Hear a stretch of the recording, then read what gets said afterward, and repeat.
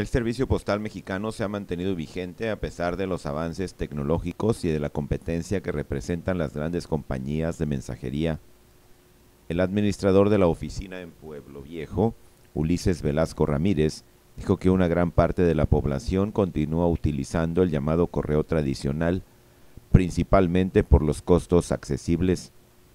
Indicó que la calidad de los servicios es la misma, por lo que los consumidores utilizan con frecuencia el servicio postal mexicano.